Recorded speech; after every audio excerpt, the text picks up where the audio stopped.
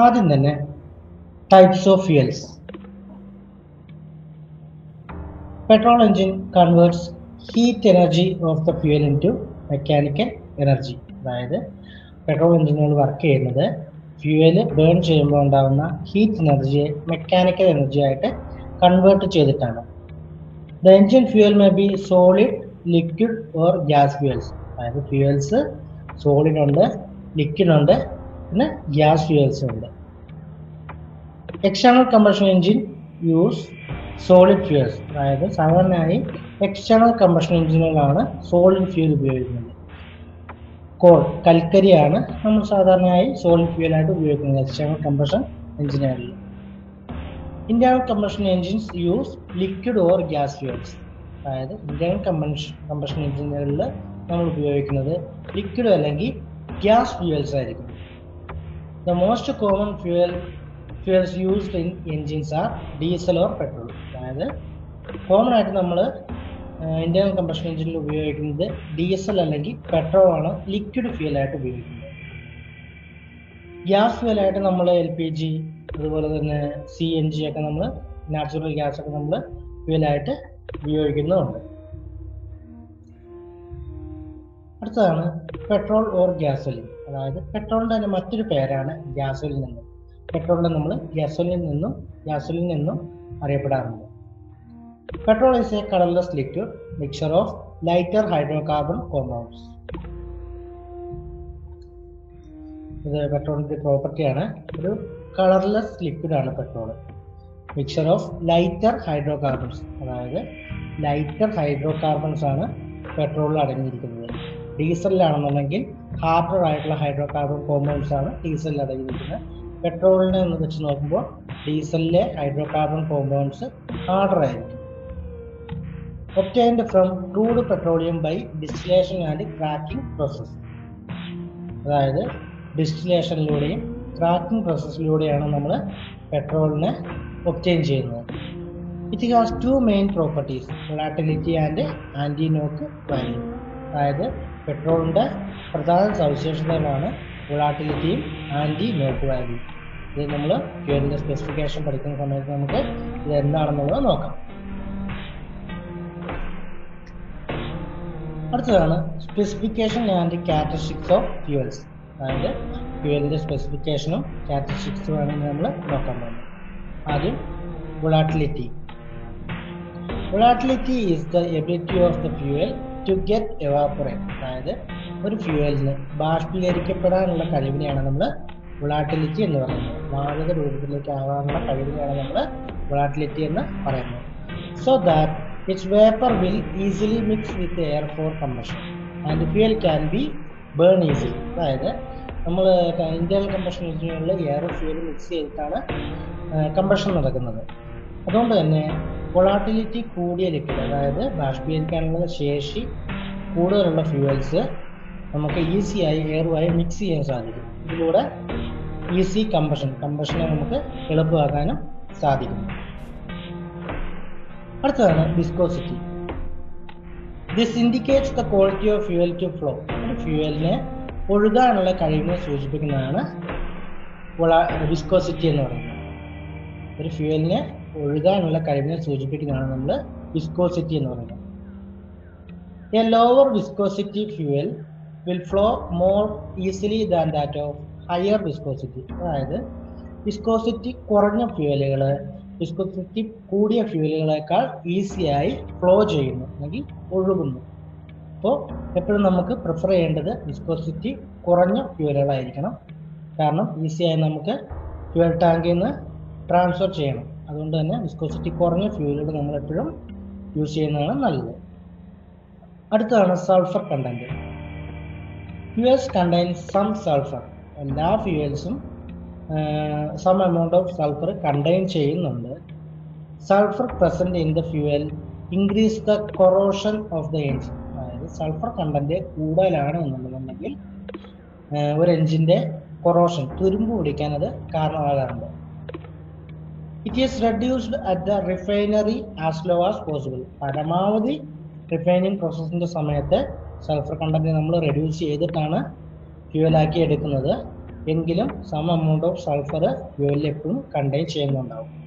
അടുത്തതാണ് octane number it determines the quality of knocking tendency of fuel ഒരു ഫ്യൂവലിന്റെ knocking ടെൻഡൻസിയെ സൂചിപ്പിക്കുന്നതാണ് ഒക്ടേൻ നമ്പർ എന്ന് പറയുന്നത്. Lesser the octane number causes lesser the knocking tendency of fuel അതായത് octane number കുറവാണെന്നുണ്ടെന്നുണ്ടെങ്കിൽ ഫ്യൂവലിന്റെ നോക്കിംഗ് ടെൻഡൻസി കുറവായിരുന്നു എന്താണ് നോക്കിംഗ് എന്നുള്ളത്? നമ്മൾ നേരത്തെ പഠിച്ചതാണ്. ഡീസലിന്റെ കാര്യം പഠിച്ചുകൊണ്ടിരിക്കുന്ന നമ്മൾ പഠിച്ചതാണ്.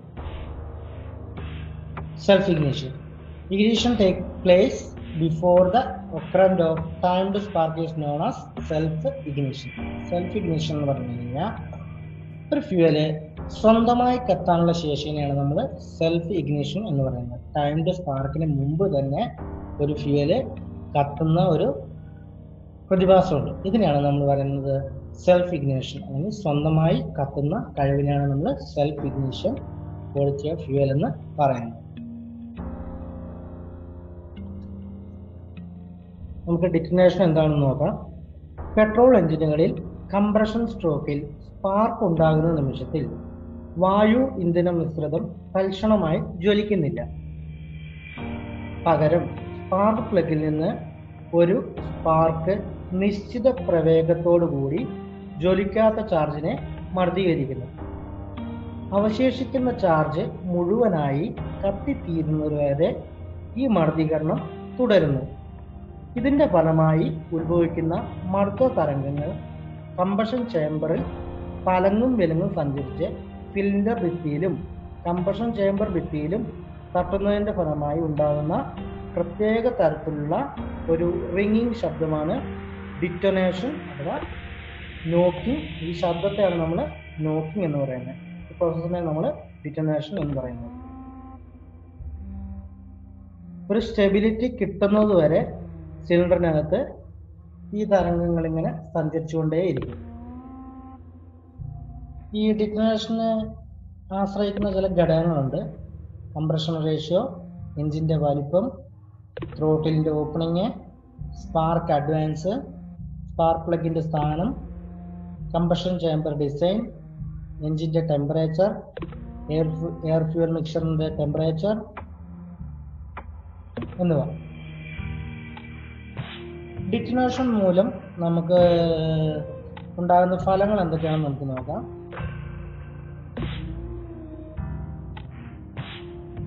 എനർജി ലോസ് ഉണ്ടാവും. എൻജിൻ ഓവർ ഹീറ്റിംഗ് ഉണ്ടാവാം.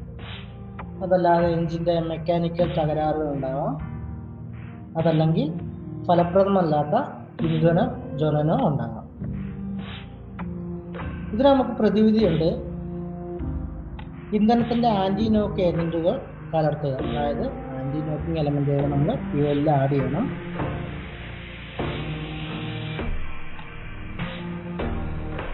എയർ ഫ്യൂൽ മിക്സറിനെ കൂൾ ചെയ്യാം.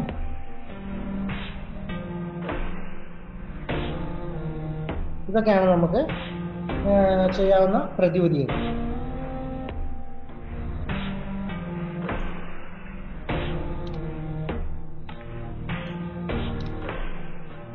ഇതാണ് atomisation it is the process of splitting the fuel into atoms of fine bronze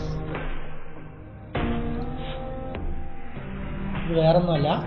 ഫ്യൂവലിനെ ചെറിയ ഡ്രോപ്ലെറ്റുകളായി സ്പ്ലിറ്റ് ചെയ്യുന്ന പ്രോസസ്സിനെയാണ് നമ്മൾ പറയുന്നത് അറ്റോമൈസേഷൻ എന്ന് പറയുന്നത്. അടുത്തതാണ് vaporisation it is the process of changing the liquid fuel into vapours അതായത് ലിക്വിഡ് രൂപത്തിലുള്ള ഫ്യൂവലിനെ വേപ്പർ അഥവാ ബാഷ്പമാക്കി മാറ്റുന്നതിനാണ് നമ്മൾ വേപ്പറൈസേഷൻ എന്ന് പറയുന്നത്. Charge the combustible air fuel mixture is known as charge അതായത് കത്താൻ സഹായിക്കുന്ന എയർ ഫ്യൂൽ മിശ്രിതത്തെയാണ് നമ്മൾ ചാർജ് എന്ന് പറയുന്നത്. നമ്മൾ സക്ഷൻ സ്ട്രോക്കിന്റെ സമയത്ത് സിലിണ്ടറിനകത്തേക്ക് ഫ്രഷ് ചാർജ് വന്നു എഞ്ചിന്റെ വർക്കിംഗ് പ്രിൻസിപ്പിൾ പഠിച്ച സമയത്ത് നമ്മൾ പറയുന്നു. ഈ ചാർജ് എന്ന് പറഞ്ഞു കഴിഞ്ഞാൽ കത്താൻ സഹായിക്കുന്ന എയറിന്റെ ഫ്യൂലിന്റെ മിക്സറിനെയാണ് നമ്മൾ ചാർജ് എന്ന് പറയുന്നത്. ഇത് തന്നെ രണ്ട് ടൈപ്പ് ഉണ്ട്. റിച്ച് മിക്സറും ഉണ്ട് ലീൻ മിക്സറും ഉണ്ട്. എന്താണ് റിച്ച് മിക്സർ എന്ന് നോക്കാം? In a mixture ratio fuel is more than air it is a rich mixture അതായത് എയറിനേക്കാൾ അധികം ഫ്യൂവലിന്റെ അളവ് ഉണ്ടെന്നുണ്ടെങ്കിൽ ഇതിനെ റിച്ച് മിക്സർ എന്ന് പറയുന്നു. എയറിനേക്കാൾ അധികം ഫ്യൂവൽ അടങ്ങുന്നുണ്ട് എന്നുണ്ടെങ്കിൽ ഇതിനെ നമ്മൾ എന്ത് പറയുന്നു? റിച്ച് മിക്സർ എന്ന് പറയുന്നു. നമ്മൾ കോൾഡ് സ്റ്റാർട്ടിങ്ങിന്റെ സമയത്തൊക്കെ നമുക്ക് റിച്ച് മിക്സർ ആണ് ആവശ്യം. ഇനി ലീൻ മിക്സർ എന്താണെന്ന് നോക്കാം. പിന്നെ mixture ratio air is more than fuel it is a lean mixture അതായത് ഒരു മിക്സർ റേഷ്യോയിൽ ഫ്യൂവലിനേക്കാൾ കുറവ് കൂടുതലാണ് എയർ എന്നുണ്ടെങ്കിൽ. ഫ്യൂവലിനേക്കാൾ കൂടുതലാണ് എയർ എന്നുണ്ടെങ്കിൽ ഇതിനെ നമ്മൾ ലീൻ മിക്സർ എന്ന് പറയുന്നു. എയറിന്റെ അളവ് കൂടുതലാണെന്നുണ്ടെങ്കിൽ ഇതിനെ നമ്മൾ ലീൻ മിക്സർ എന്ന് പറയുന്നു. അടുത്തതാണ് venturi it is the area of choke tube keeps less diameter is known as venturi അതായത് ചോക്ക് ട്യൂബ് നമുക്ക് എല്ലാവർക്കും അറിയാം കാർബറേറ്ററിലെ ഫ്യൂവൽ പാസ് ചെയ്യുന്ന ട്യൂബിനെയാണ് നമ്മൾ ചോക്ക് ട്യൂബ് എന്ന് പറയുന്നത് ഇതിന്റെ പ്രത്യേക ഭാഗത്ത് ഡയമീറ്റർ കുറവായിരിക്കും ഇതിനെയാണ് നമ്മൾ എന്ത് പറയുന്നത് വെഞ്ചുറി എന്ന് പറയുന്നത് additives several chemical additives are mixed with fuel to improve combustion and control harmful deposit and to increase the anti-freezing quality of the fuel അതായത് വ്യത്യസ്തങ്ങളായ അഡിറ്റീവ്സ് നമ്മൾ ഫ്യൂവലിൽ ആഡ് ചെയ്യുന്നുണ്ട്. ഒന്ന് കമ്പഷൻ അഥവാ ജ്വലനം ഈസി ആക്കുന്നതിനും. അതുപോലെ തന്നെ കൺട്രോൾ ഹാംഫുൾ ഡെപ്പോസിറ്റ് അതായത് എഞ്ചിന്റെ കോമ്പണൻസിന് അപകടകരമായ കണ്ടൻസ് എന്തെങ്കിലും ഫ്യൂൽ അടങ്ങിയിട്ടുണ്ടെങ്കിൽ അത് റിമൂവ് ചെയ്യുന്നതിനും to increase the anti freezing quality of the fuel അതായത് ഫ്യൂലിന്റെ കട്ടയാവാനുള്ള ഫ്രീസ് ആവാനുള്ള ക്വാളിറ്റി കുറയുന്നതിനും അഡിറ്റീവ്സ് നമ്മളെ സഹായിക്കുന്നു. ഇനി അത് ഏതാണെന്ന് നമുക്ക് നോക്കാം. ഒന്ന് oxidation inhibitors it prevent the formation of gum while the petrol is in storage അതായത് പെട്രോൾ സ്റ്റോറേജ് ഇരിക്കുന്ന സമയത്ത് ഗം ഫോർമേഷൻ ഉണ്ടാവാതിരിക്കാൻ സഹായിക്കുന്നതാണ് ഓക്സിഡേഷൻ ഇൻഹിബിറ്റേഴ്സ് ഗം കണ്ടന്റ് എന്ന് പറയുന്നത് ഇൻകംപ്ലീറ്റ് ഹൈഡ്രോ കാർബൺസിനെയാണ് നമ്മൾ ഗം കണ്ടന്റ് എന്ന് പറയുന്നത്. ഇത് നമുക്ക് കമ്പഷന് തടസ്സമായി വരും. അതുകൊണ്ട് തന്നെ ഗം കണ്ടന്റ് കുറവുള്ള ഫ്യൂൽ ആയിരിക്കും നമുക്ക് എപ്പോഴും നല്ലത്. നമുക്കറിയാം ഫ്യൂൽ എന്ന് പറയുന്നത് ഹൈഡ്രോ കാർബൺ ആണെന്ന് നമുക്ക് എല്ലാവർക്കും അറിയാം. ഇതിലെ ഇൻകംപ്ലീറ്റ് അപൂരിതമായ ഹൈഡ്രോ കാർബൺ കണ്ടൻസ് ആണ് ജമ്മായി ഫോം ചെയ്യുന്നത്. ഇത് കമ്പഷൻ തടസ്സമാണ്. അതുകൊണ്ട് തന്നെ ഇത് നമുക്ക് റിമൂവ് ചെയ്യേണ്ടതുണ്ട്. അതിനുവേണ്ടി നമ്മൾ ഓക്സിഡേഷൻ ഇൻഹിബിറ്റേഴ്സ് ആഡ് ചെയ്യും ആക്റ്റീവായിട്ട് അടുത്താണ് metal deactivators which protect the petrol from the harmful effect of certain metals that mix up in the refining process.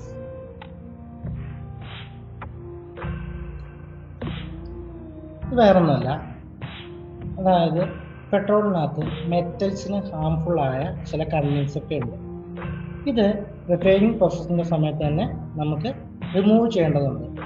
ഇതിനു വേണ്ടിയാണ് നമ്മൾ മെറ്റൽ ഡിയാക്ടിവേറ്റേഴ്സ് ആഡ് ചെയ്യുന്നത്. അതേപോലെ തന്നെയാണ് rust resistors to protect the fuel system of the vehicle from rust അതായത് fuel സിസ്റ്റത്തെ rust അഥവാ കുരുമ്പ് എടുക്കാതിരിക്കാൻ വേണ്ടി റസ്റ്റ് റെസിസ്റ്റേഴ്സ് നമ്മൾ ആഡ് ചെയ്യുന്നു.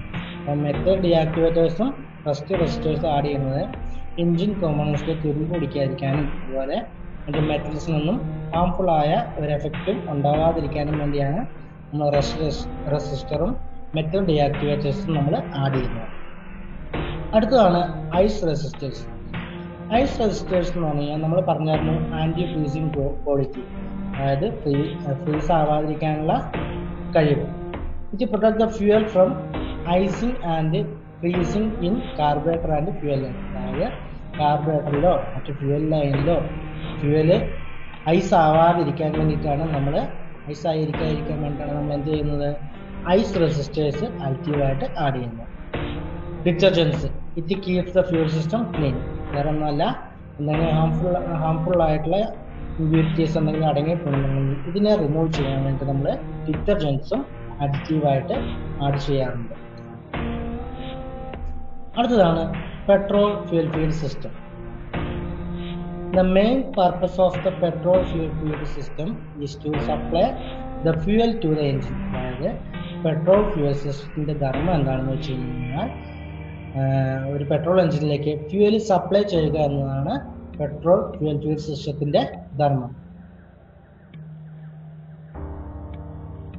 പ്രധാനമായും ഇനി പറയുന്ന അഞ്ച് മെത്തേഡുകളാണ് നമ്മൾ ഉപയോഗിച്ച് വരുന്നത് ഒന്ന് ഗ്രാവിറ്റി ഫ്യൂൽ സിസ്റ്റം രണ്ട് പ്രഷറൈസ്ഡ് ഫീഡ് സിസ്റ്റം മൂന്ന് ഓട്ടോവാക് ഫീഡ് സിസ്റ്റം നാല് പമ്പ് ഫീഡ് സിസ്റ്റം അഞ്ച് ഫ്യൂൽ ഇഞ്ചക്ഷൻ സിസ്റ്റം ആദ്യം പറഞ്ഞ നാല് സിസ്റ്റം ഗ്രാവിറ്റി ഫീഡ് സിസ്റ്റം ആയാലും പ്രഷറൈസ്ഡ് ഫീഡ് സിസ്റ്റം ആയാലും ഓട്ടോവാക് ഫീഡ് സിസ്റ്റം ആയാലും പമ്പ് ഫീഡ് സിസ്റ്റം ആയാലും നമ്മൾ കാർബറേറ്റർ ഉപയോഗിച്ച് ചെയ്യുന്ന പെട്രോൾ ഫ്യൂൽ ഫീഡ് സിസ്റ്റമാണ് ഫ്യൂവൽ ഇഞ്ചക്ഷൻ സിസ്റ്റം നമ്മൾ ഫ്യൂവൽ ഇഞ്ചക്ടർ ഉപയോഗിച്ചാണ് ഫ്യൂവലിനെ ഇഞ്ചക്ട് ചെയ്യുന്നത്.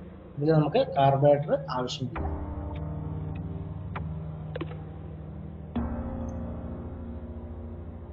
അടുത്തതാണ് gravity feed system in the system fuel tank is kept at a higher level than carbon ഈ സിസ്റ്റത്തിലെ കാർബറേറ്ററിന്റെ മുകളിലായിരിക്കും എപ്പോഴും ഫ്യൂൽ ടാങ്കിന്റെ ലൊക്കേഷൻ എന്ന് പറയുന്നത്. കാരണം ഫ്യൂലിന്റെ ഗ്രാവിറ്റി പവർ കൊണ്ട് മാത്രമാണ് ഇതിൽ കാർബറേറ്ററിലേക്ക് ഫ്യൂൽ എത്തുന്നത്. ഇതിൽ പ്രത്യേകിച്ച് പമ്പൊന്നുമില്ല അതുകൊണ്ട് തന്നെ ഇതിൽ ഫ്യൂൽ ടാങ്കിന്റെ ലൊക്കേഷൻ എന്ന് പറയുന്നത് കാർബറേറ്ററിന്റെ മുകളിലായിരിക്കും ചിത്രത്തിൽ നമുക്ക് കാണാം. ഇവിടെയാണ് നമ്മുടെ ഫ്യൂൽ ടാങ്ക് ലൊക്കേറ്റ് ചെയ്തിരിക്കുന്നത്. The fuel flow to the carburettor by its own gravity fuel കാർബറേറ്ററിലേക്ക് flow ചെയ്യുന്നത് ഫ്യൂവലിന്റെ ഗ്രാവിറ്റി പവർ കൊണ്ട് മാത്രമാണ് gravity fuel system it is used in motor cycle scooters and stationary engines നമ്മൾ ഉപയോഗിക്കുന്നത് മോട്ടോർ സൈക്കിളുകളിലും സ്കൂട്ടറുകളിലും സ്റ്റേഷനറി എഞ്ചിനുകളിലൊക്കെയാണ് നമ്മൾ ഈ fuel system നമ്മൾ സാധാരണയായി ഉപയോഗിച്ചു നമ്മുടെ ഇപ്പോഴത്തെ ബൈക്കുകളിലൊക്കെ നമുക്ക് കാണാൻ സാധിക്കും.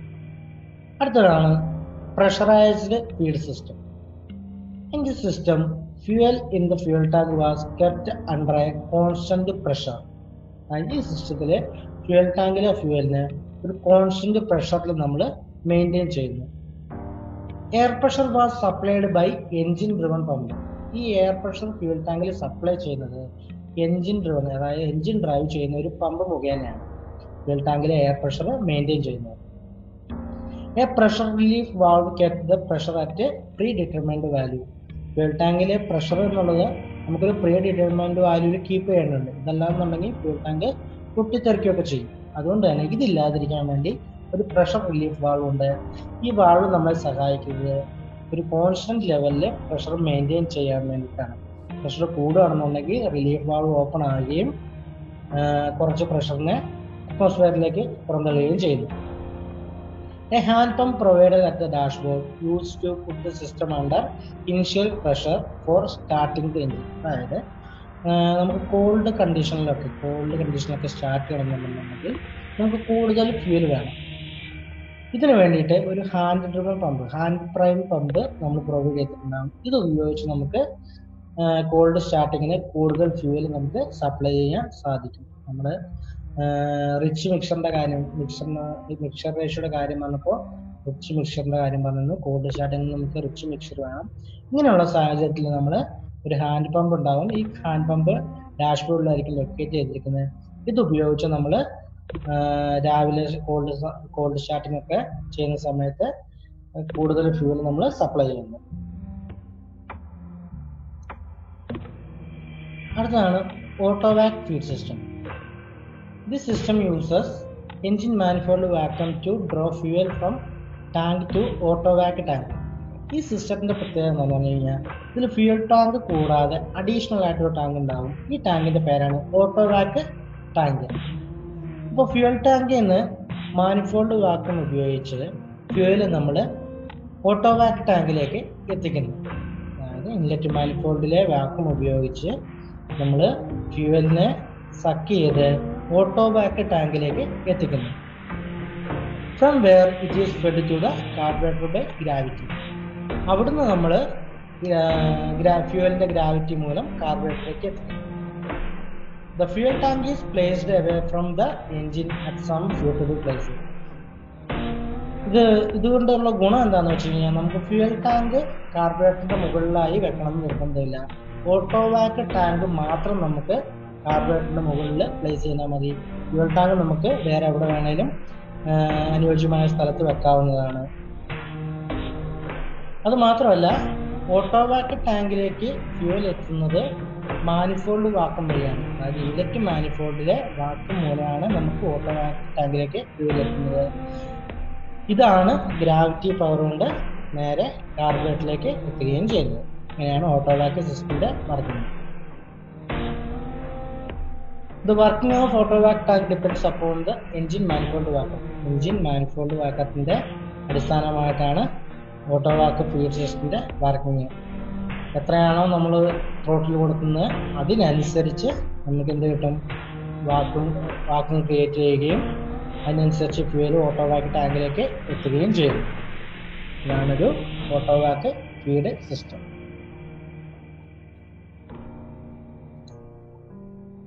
അടുത്തതാണ് pump feed system pump feed സിസ്റ്റത്തിലെ പ്രധാന ഭാഗങ്ങളാണ് എയർ ഫിൽട്ടർ കാർബറേറ്റർ അതുപോലെ തന്നെ ഫ്യൂൽ ടാങ്ക് ഉണ്ട് ഫ്യൂൽ ഫിൽട്ടർ ഉണ്ട് ഫ്യൂൽ പമ്പ് ഉണ്ട്.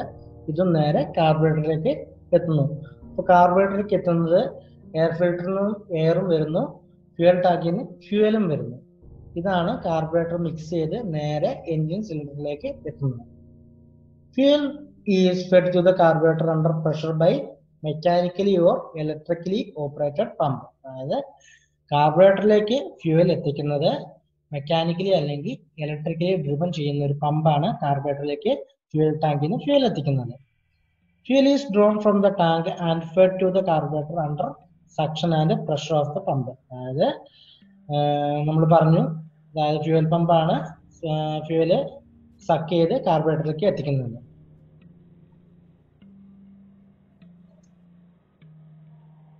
ആവശ്യമായ പ്രഷറിൽ സപ്ലൈ ചെയ്യുന്നതും ഫ്യൂവൽ പമ്പിന്റെ ഒരു ധർമ്മമാണ് അടുത്തതാണ് ഫ്യൂവൽ ഇഞ്ചക്ഷൻ സിസ്റ്റം ഇതിന്റെ പ്രധാന ഭാഗങ്ങൾ നമുക്ക് നോക്കാം. Fuel tank fuel filter fuel feed pump ഒരു ഫ്യൂവൽ റെയിലുണ്ട് ഇഞ്ചക്ടർ ഉണ്ട് അതിനുശേഷം ഇവിടെ ഒരു പ്രഷർ റെഗുലേറ്റർ ഉണ്ട് ഫ്യൂവൽ റിട്ടേൺ ലൈൻ ഉണ്ട്. ഇതൊക്കെയാണ് ഒരു ഫ്യൂവൽ ഇഞ്ചക്ഷൻ സിസ്റ്റത്തിന്റെ പ്രധാന ഭാഗങ്ങൾ. The petrol injection system now comes to modern vehicle ഇപ്പോൾ വരുന്ന പുതിയ ലേറ്റസ്റ്റ് വാഹനങ്ങളിലൊക്കെ നമുക്ക് കാണാൻ സാധിക്കുന്നതാണ് petrol fuel injection system the fuel is atomised by means of an injector nose അതായത് ഇവിടെ നമ്മൾ ഫ്യൂലിനെ അറ്റോമൈസ് ചെയ്യുന്നത് ഒരു ഇഞ്ചക്ടർ നോസിലിന്റെ സഹായത്തോടു കൂടിയാണ്. Then delivered into an air stream ആ ഇഞ്ചക്ടർ നോസിലാണ് എയർ ഫിൽട്ടറിൽ എന്ന് വരുന്ന എയറിലേക്ക് ഈ ഫ്യൂലിനെ സപ്ലൈ ചെയ്യുന്നത്. There may be separate fuel injector are used for separate cylinders or one single is used. അത് പല രീതിയിൽ ഉപയോഗിക്കാറുണ്ട്. ഓരോ സിലിണ്ടറും ഇൻഡിവിജ്വൽ ആയിട്ട് ഉപയോഗിക്കാറുണ്ട്. അതല്ലെങ്കിൽ ഒരു സിംഗിൾ ഇഞ്ചക്ടർ ഉപയോഗിച്ചും ചെയ്യാറുണ്ട്. ഇതിൽ നമുക്ക് നോക്കാം. ഓരോന്നിന്റെ ധർമ്മം എന്താണെന്ന് നോക്കാം. ഫ്യൂൽ ടാങ്ക് നമുക്കറിയാം. ഫ്യൂൽ സ്റ്റോർ ചെയ്യാൻ വേണ്ടിയിട്ടാണ്. ഫിൽറ്റർ നമുക്കറിയാം. ഫ്യൂലിനെ ഫിൽട്ടർ ചെയ്യാൻ വേണ്ടിയിട്ടാണ്. എന്തെങ്കിലും ബ്യൂട്ടീസ് ഒക്കെ ഉണ്ടെങ്കിൽ അതിനെ റിമൂവ് ചെയ്യാൻ വേണ്ടിയിട്ടാണ് ഹാർംഫുൾ ആയിട്ടുള്ള കണ്ടന്റ് റിമൂവ് ചെയ്യാൻ വേണ്ടിയിട്ടാണ് ഫ്യൂൽ ഫിൽറ്റർ ഫ്യൂൽ പമ്പ് ഒരു കോൺസ്റ്റന്റ് പ്രഷറിൽ ഫ്യൂലിനെ പമ്പ് ചെയ്തുകൊണ്ടിരിക്കുന്നു. പിന്നെ ഇവിടെ ഒരു ഫ്യൂൽ റെയിലുണ്ട് ഫ്യൂൽ റെയിലാണ് ഇഞ്ചക്ടറിലേക്ക് ഫ്യൂവൽ സപ്ലൈ ചെയ്യുന്നത്. ഇത് മൂലം തന്നെ നമുക്ക് ഒരു കോൺസ്റ്റന്റ് റേറ്റിൽ ഫ്യൂൽ സപ്ലൈ ചെയ്യാൻ സാധിക്കുന്നു. പിന്നെ ഒരു പ്രഷർ റെഗുലേറ്റർ ഉണ്ട്. ഇതെന്താണെന്ന് പറഞ്ഞു കഴിഞ്ഞാൽ ഇൻ കേസ് ഫ്യൂൽ റെയിലിൽ പ്രഷർ അധികമാണെന്നുണ്ടെന്നുണ്ടെങ്കിൽ നമുക്ക് ഈ പ്രഷർ റെഗുലേറ്റർ ഓപ്പൺ ആവുകയും റിട്ടേൺ ലൈൻ വഴി തിരിച്ച് ആ ഫ്യൂവൽ ഫ്യൂവൽ ടാങ്കിൽ തന്നെ എത്തുകയും ചെയ്യുന്നു. ഇതിനു വേണ്ടിയിട്ടാണ് ഇവിടെ ഒരു പ്രഷർ റെഗുലേറ്റർ കൊടുത്തിരിക്കുന്നത്. ഇഞ്ചക്ടർ ആണ് നമുക്ക് ഫ്യൂവലിനെ ഡോപ്ലെസ് ആക്കി മാറ്റുന്നത്. എന്നിട്ട് എയർ സ്ട്രീമിലേക്ക് സ്പ്രേ ചെയ്യുന്നത്. ഇതാണ് ഒരു ഫ്യൂവൽ ഇഞ്ചക്ഷൻ സിസ്റ്റത്തിന്റെ പ്രധാന ഭാഗങ്ങളും അതിന്റെ ചെറിയ രീതിയിലുള്ള ഒരു വർക്കിങ്ങും കൂടുതലായി നമുക്ക് എം ബി എഫ് സിസ്റ്റം ഒക്കെ പഠിക്കുന്ന സമയത്ത് പഠിക്കാം. നമ്മൾ നോക്കാൻ പോകുന്നതാണ്. Components of pump or force feed system അതായത് പമ്പ് അല്ലെങ്കിൽ ഫോഴ്സ് ഫീൽഡ് സിസ്റ്റത്തിന്റെ പ്രധാന ഭാഗങ്ങൾ എന്തൊക്കെയാണെന്ന് നോക്കാം. ഇവന്റ് പൈപ്പ് ഉണ്ട് ഫ്യൂൽ ടാങ്ക് ഉണ്ട് ഫ്യൂൽ ലൈൻ ഉണ്ട് റിട്ടേൺ ലൈൻ ഉണ്ട് ഫ്യൂൽ ഫീൽഡ് പമ്പ് ഉണ്ട് കാർബറേറ്റർ ഉണ്ട് എയർ ക്ലീനർ ഉണ്ട്. ഇതിങ്ങനെയാണ് നമ്മൾ ഒരു ഭാഗത്തിൽ പ്ലേസ് ചെയ്തിരിക്കുന്നത്. Components of pump or force feed system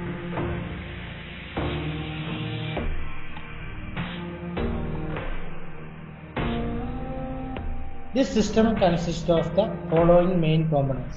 from the fuel tank, fuel filter, fuel pump, carburettor fuel gauge പ്രധാന ഭാഗങ്ങളാണ് ഫ്യൂൽ ടാങ്ക് ഉണ്ട് ഫ്യൂൽ ഫിൽറ്റർ ഉണ്ട് ഫ്യൂൽ പമ്പ് ഉണ്ട് കാർബറേറ്റർ ഉണ്ട് ഫ്യൂൽ ഗേജും ഉണ്ട്. ഇനി ഫ്യൂൽ ടാങ്ക് എന്താണ്? ഫ്യൂൽ ടാങ്ക് നമുക്കറിയാം ഫ്യൂവൽ സ്റ്റോർ ചെയ്യാൻ വേണ്ടി വെച്ചിരിക്കുന്ന ഭാഗമാണ് ഫ്യൂവൽ ടാങ്ക് എന്ന് പറയുന്നത്. Material galvanised mild steel sheet coated with lead or tin alloy അതായത് ഫ്യൂൽ ടാങ്കിന്റെ മെറ്റീരിയൽ എന്ന് പറയുന്നത് ഗാൽവനൈസ്ഡ് മൈൽഡ് സ്റ്റീൽ ഷീറ്റ് അതിൽ തന്നെ നമ്മൾ ലെഡ് അല്ലെങ്കിൽ ടിന്നിന്റെ കോട്ടിംഗ് കൊടുക്കും. അതായത് വേറെ ഒന്നിനും വേണ്ടിയിട്ടല്ല പ്രൊട്ടക്ട് ഫ്രം റസ്റ്റിംഗ് തുരുമ്പെടുക്കാതിരിക്കാൻ വേണ്ടി നമ്മൾ ലെഡിന്റെയോ ടിന്നിന്റെയോ കോട്ടിംഗ് കൂടെ ഫ്യൂൽ ടാങ്കിന് കൊടുക്കുന്നു. തുരുമ്പെടുത്തു കഴിഞ്ഞാൽ ലീക്ക് വരും. ഇതില്ലാതിരിക്കാൻ വേണ്ടിയിട്ടാണ് നമ്മൾ അലോയ് കോട്ടിംഗ് കൊടുക്കുന്നത് ലെഡ് അല്ലെങ്കിൽ ടിന്നാണ് നമ്മൾ ഉപയോഗിക്കുന്നത്. ചില വാഹനങ്ങളിൽ നമ്മൾ അലുമിനിയത്തിന്റെ ഫ്യൂൾ ടാങ്ക് ഇപ്പോൾ കണ്ടുവരാം. അടുത്താണ് internal baffle plates to avoid fuel sloshing അതായത് ഇന്റേണൽ ബഫിൾ പ്ലേറ്റുകൾ പ്രൊവൈഡ് ചെയ്തിട്ടുണ്ടാകും ഇതെന്തിനാണെന്ന് വെച്ച് കഴിഞ്ഞാൽ സ്ലാഷിംഗ് സ്ലാഷിംഗ് എന്ന് പറഞ്ഞാൽ അലകൾ. വാഹനം സഞ്ചരിച്ചുകൊണ്ടിരിക്കുന്ന സമയത്ത് അലകളുണ്ടാകും ഫ്യൂൽ ടാങ്കിൽ ഇത് ഒഴിവാക്കുന്നതിന് വേണ്ടിയിട്ടാണ് നമ്മൾ ഇന്റേണൽ ബാഫിൾ പ്ലേറ്റുകൾ നമ്മൾ പ്രൊവൈഡ് ചെയ്തിരിക്കുന്നത്. ഫ്യൂൽ ടാങ്കിൽ അടുത്തതാണ് filler cap with vent hole അതായത് filler cap with vent hole അതായത് air vent hole filler cap ഉണ്ടാവും. നമ്മുടെ ഫ്യൂൽ ടാങ്കിന്റെ ക്യാപ്പ് നോക്കി നമുക്ക് കാണാം. ഒരു ചെറിയ ഹോൾ ഉണ്ടാവും. അത് എയർ വെന്റിന് വേണ്ടിയിട്ടാണ് അത് കൊടുത്തിരിക്കുന്നത്. ഡ്രെയിൻ പ്ലഗ് ഡ്രെയിൻ പ്ലഗ് ഉണ്ടാകും ഫ്യൂൽ നമുക്ക് ഡ്രെയിൻ ചെയ്യാൻ ചെയ്യേണ്ട ആവശ്യം വരുവാണെങ്കിൽ ഇതിനുവേണ്ടി നമുക്കൊരു ഡ്രെയിൻ പ്ലഗ് ഉണ്ടാകും ഫ്യൂൽ ഗേജ് ഫ്യൂൽ ഗേജിന്റെ ടാങ്ക് യൂണിറ്റ് ഉണ്ടാകും നമ്മൾ ഗേജസിനെ കുറിച്ച് കഴിഞ്ഞ ക്ലാസ്സിൽ പഠിച്ചാണ്. അപ്പോൾ നമുക്കറിയാം ഫ്യൂൽ ഗേജിന്റെ രണ്ട് യൂണിറ്റ് ആണല്ലോ. ഒന്ന് ഡാഷ് യൂണിറ്റും മറ്റേത് ഫ്യൂൽ ടാങ്ക് യൂണിറ്റും അപ്പോൾ ഫ്യൂൽ ഗേജിന്റെ ടാങ്ക് യൂണിറ്റ് ആണ് നമുക്ക് ഇതിൽ ഫ്യൂൽ ടാങ്കിൽ കാണാൻ സാധിക്കുന്നത്. അടുത്തതാണ് fuel filters the petrol filter protects the engine supply system by eliminating any impurities or foreign materials from the fuel. The petrol filter protects the engine supply system by eliminating any impurities or foreign materials from the fuel. അതായത് ഫ്യൂവലിൽ നിന്ന് foreign മെറ്റീരിയൽസോ അല്ലെങ്കിൽ ഇമ്പ്യൂരിറ്റീസോ ഒക്കെ remove ചെയ്യാൻ വേണ്ടിയിട്ടാണ് നമ്മൾ ഉപയോഗിക്കുന്നത് filtered fuels thus help to increase engine performance and service life. അതായത് നമ്മളെ ഫ്യൂവലിനെ ഫിൽറ്റർ ചെയ്യുന്നതുകൊണ്ട് നമുക്ക് ഗുണം എന്താണെന്ന് പറഞ്ഞു കഴിഞ്ഞാൽ എഞ്ചിന്റെ ലൈഫ് കൂടുന്നു അതുപോലെ പെർഫോമൻസും ഇമ്പ്രൂവ് ചെയ്യുന്നു. It filters the fuel before it goes to the engine അതായത് എഞ്ചിനിലേക്ക് പോകുന്നതിന് മുമ്പ് അല്ലെങ്കിൽ കാർബറേറ്ററിലേക്ക് പോകുന്നതിന് മുമ്പ് ഫ്യൂവലിനെ ഫിൽട്ടർ ചെയ്യുക എന്നതാണ് ഫ്യൂവൽ ഫിൽറ്ററിന്റെ ധർമ്മം. It consist of a inlet outlet and filtering element and a cover അതായത് ഇതിന്റെ പ്രധാന ഭാഗങ്ങൾ ഒരു ഇൻലെറ്റ് ഉണ്ടാവും ഒരു ഔട്ട്ലെറ്റ് ഉണ്ടാവും ഫിൽറ്ററിംഗ് എലമെന്റ് ഉണ്ടാവും പിന്നെ അതിനൊരു കവറും ഉണ്ടാവും. ഇതാണ് ഒരു ഫ്യൂൽ ഫിൽറ്ററിന്റെ പ്രധാന ഭാഗങ്ങൾ. The fuel filter is located in between fuel tank and fuel feed pump അതായത് ഫ്യൂൽ ഫിൽറ്റർ ലൊക്കേറ്റ് ചെയ്യുന്നത് ഫ്യൂൽ ടാങ്കിന്റെയും ഫ്യൂൽ ഫീഡ് പമ്പിന്റെയാണ് കാർബറേറ്റർ ഫ്യൂൽ സിസ്റ്റത്തിൽ കാർബറേറ്റർ ഫ്യൂൽ സിസ്റ്റത്തിൽ ഒരു ഫ്യൂൽ ഫിൽറ്ററിന്റെ ലൊക്കേഷൻ എന്ന് പറയുന്നത് ഫ്യൂൽ ടാങ്കിന്റെയും ഫ്യൂൽ ഫീഡ് പമ്പിന്റെയും ഇടയിലായിട്ടായിരിക്കും. പക്ഷേ ഇലക്ട്രോണിക് ഫ്യൂൽ ഇഞ്ചക്ഷൻ സിസ്റ്റത്തിൽ ഇത് ഫ്യൂൽ ടാങ്കിൽ ഫ്യൂൽ പമ്പിനോട് കൂടിയായിരിക്കും ലൊക്കേറ്റ് ചെയ്തിരിക്കുന്നത്. ഫ്യൂൽ പമ്പിനോട് കൂടെ ഫ്യൂൽ ടാങ്കിലായിരിക്കും ഇലക്ട്രോണിക് ഫ്യൂൽ സിസ്റ്റത്തിലെ ഫ്യൂൽ ഫിൽറ്ററിന്റെ ലൊക്കേഷൻ എന്ന് പറയുന്നത്.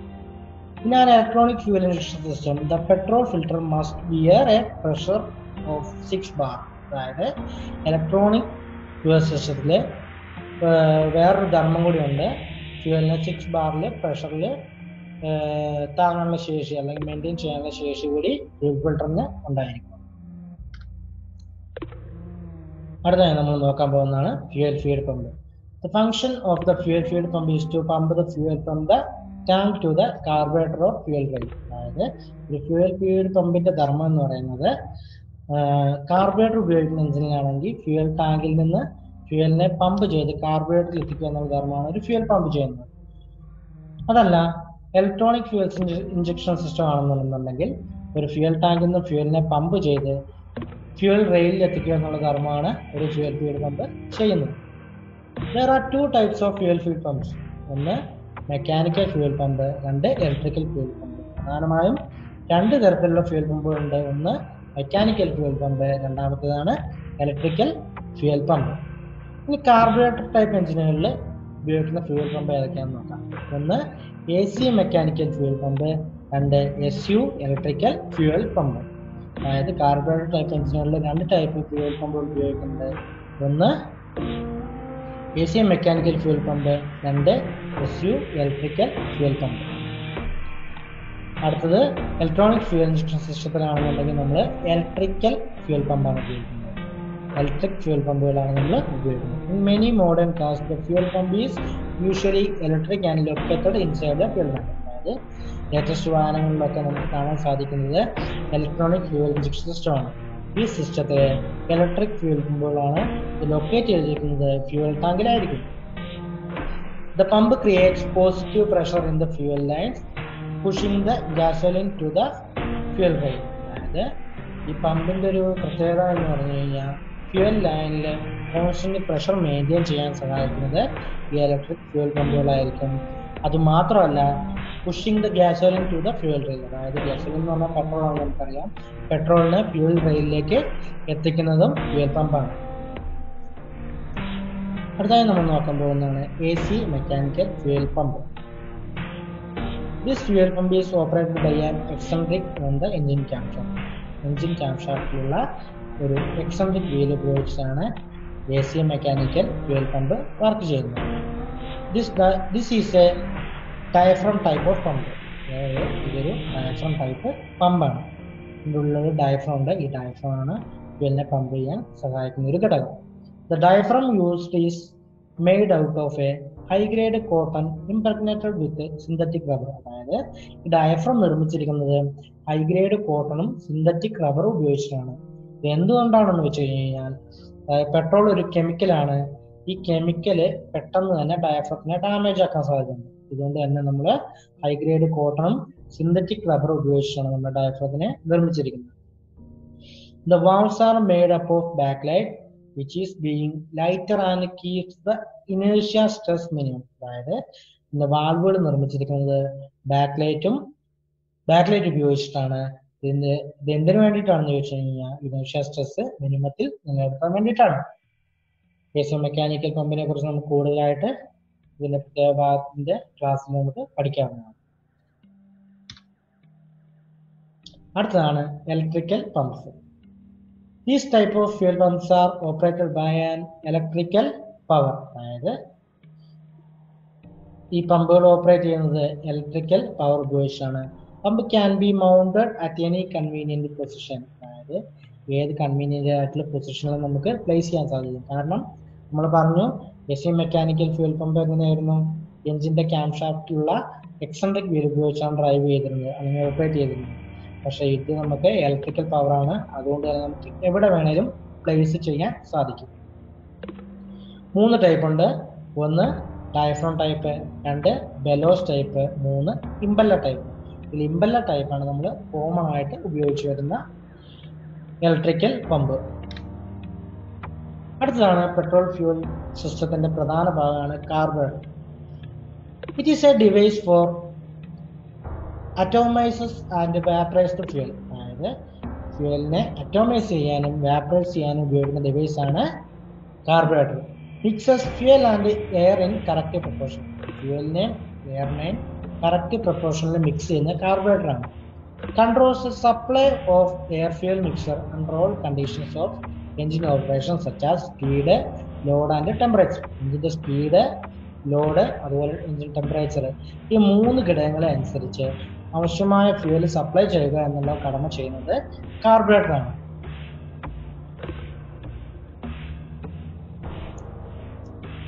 പിന്നെ നമ്മൾ നോക്കാൻ പോകുന്നത് കാർബറേറ്ററിന്റെ ടൈപ്സ് ആണ്.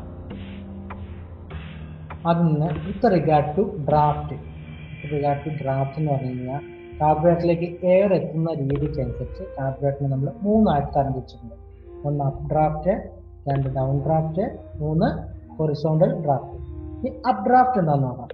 അപ്പ് ഡ്രാഫ്റ്റ് എന്ന് പറയുന്നത് കാർബറേറ്ററിന്റെ താഴെ നിന്ന് മുകളിലേക്ക് എയർ എത്തുന്ന രീതിയാണ് നമ്മൾ ഡ്രാഫ്റ്റ് എന്ന് പറയുന്നത്. സാധാരണയായി ഇൻഡസ്ട്രിയൽ ഏരിയയിൽ ഉപയോഗിക്കുന്ന കാർബോഹൈഡ്രേറ്റുകളെല്ലാം അപ്പ് ഡ്രാഫ്റ്റ് കാർബറേറ്റർ ആണ്. അടുത്താണ് down draught carburettor down draught carburettor എന്ന് പറഞ്ഞു കഴിഞ്ഞാൽ കാർബറേറ്ററിലേക്ക് എയർ എത്തുന്നത് കാർബറേറ്ററിന്റെ മുകൾ ഭാഗത്തു നിന്നായിരിക്കും സാധാരണ കോമൺ ആയി നമ്മൾ കണ്ടുവരുന്നത് കാർബറേറ്റർ ആണ്. അടുത്തതാണ് ഹൊറിസോണ്ടൽ ഡ്രാഫ്റ്റ് കാർബറേറ്റർ അതായത് ടൂ വീലറിലൊക്കെ നമ്മൾ കാണാം. കാർബറേറ്ററിന്റെ സൈഡിൽ നിന്ന് ലെഫ്റ്റ് സൈഡിൽ നിന്നാണ് എയർ നമുക്ക് കാർബറേറ്ററിലേക്ക് എത്തുന്നത്. ഇത്തരത്തിലുള്ള കാർബറേറ്ററിനെ നമ്മൾ ഹൊറിസോണ്ടൽ ഡ്രാഫ്റ്റ് കാർബറേറ്ററുകൾ എന്ന് പറയുന്നു.